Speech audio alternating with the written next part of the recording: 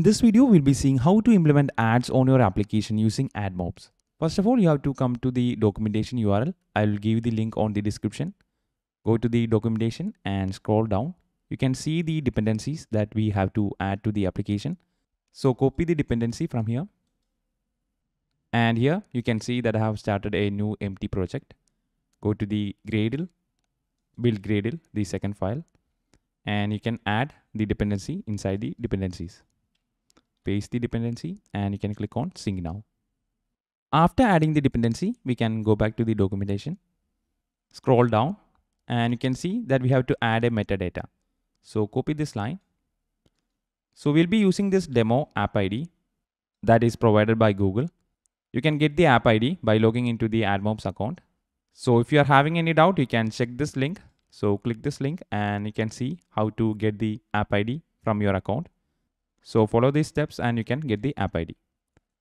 Okay, so we'll be using this demo app ID and copy this line.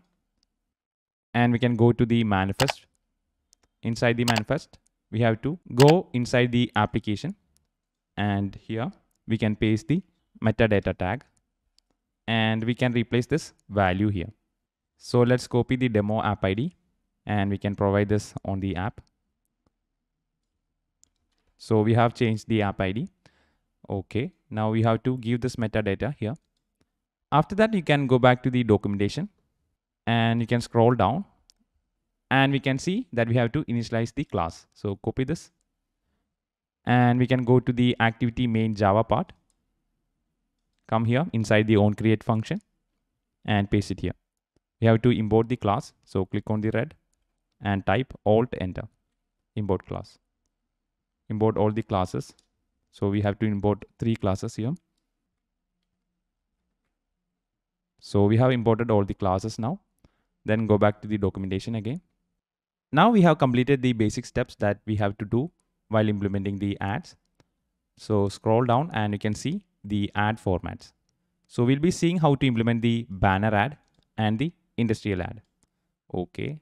We can also implement the native ads and also the reward video ads. So we'll be seeing how to implement the banner ads and the interstitial ads. So let's get started with the banner ad. So click on this button and you can scroll down. So here you can see the ad view.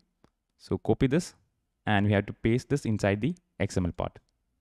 And we have to go to the layouts, activity main XML file, go to the split mode and we can change this text view to ad view that we just copied. You can also change the constraint layout to relative layout. Now you can see the ad view on the bottom. Okay. So we are also having a demo unit ID. So we'll not be changing it. So in order to get your unit ID, you have to go to the AdMob account and you can create one. So it is very simple. If you don't know, you can simply Google it and it is very simple that you can create within few clicks. So paste your ad unit ID here and you can go to the documentation again. Scroll down and you can see that we have to load the ad. So in order to load the ad, we can copy these lines. So this much, copy this line and go to the app and we can go to the activity main Java part.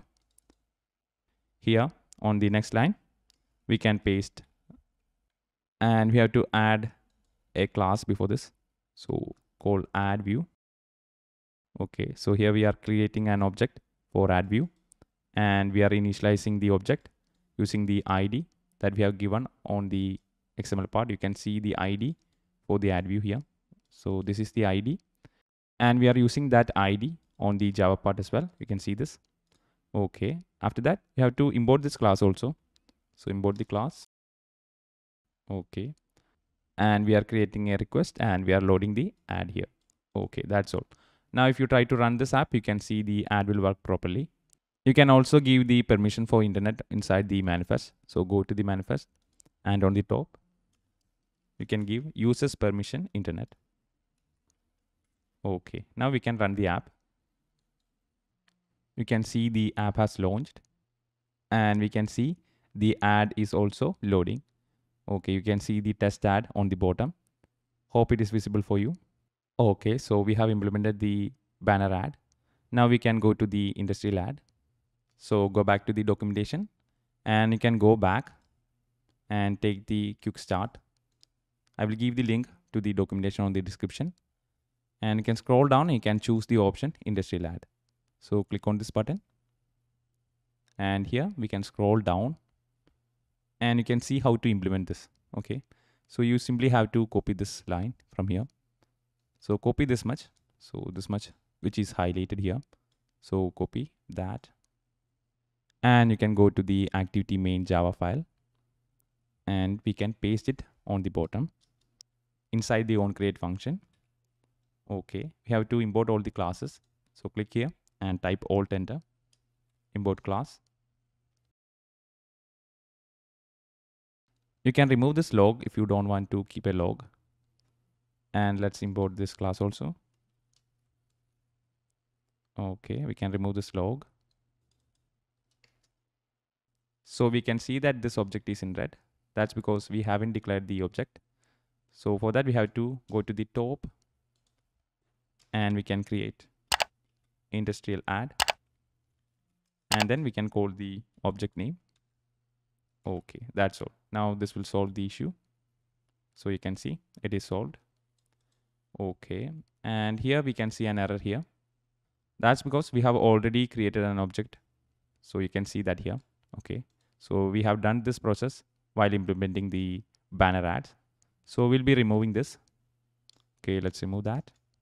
And that's all. Now, in order to show the ad, we have to call a function show.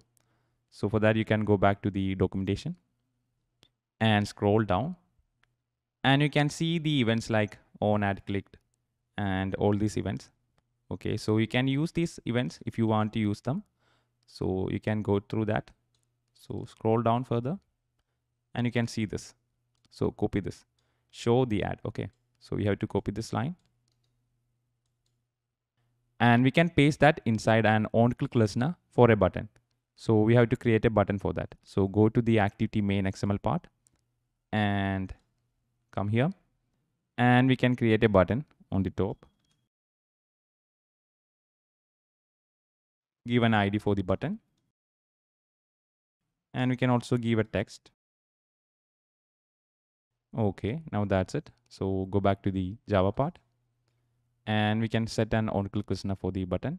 So go to the bottom inside the onCreate method itself and we can create an object for the button equal to find view by id r dot id dot, then we have to give the ID of the button. So the ID is btn ads. Then we can give an on click listener for the button.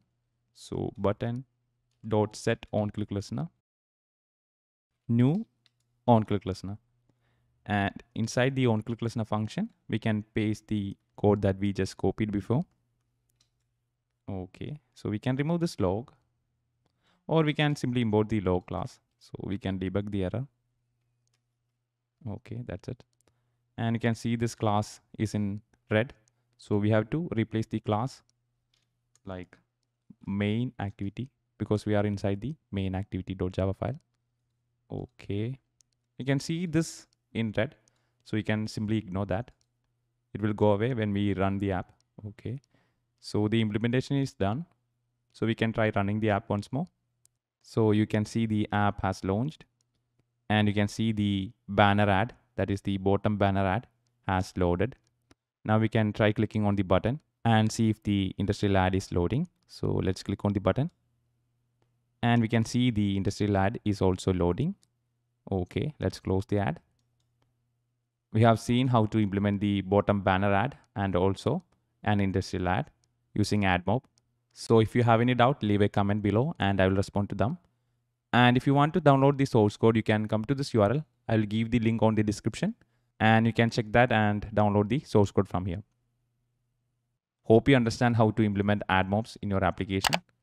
If you like this video, give it a thumbs up and subscribe to this channel for more such videos.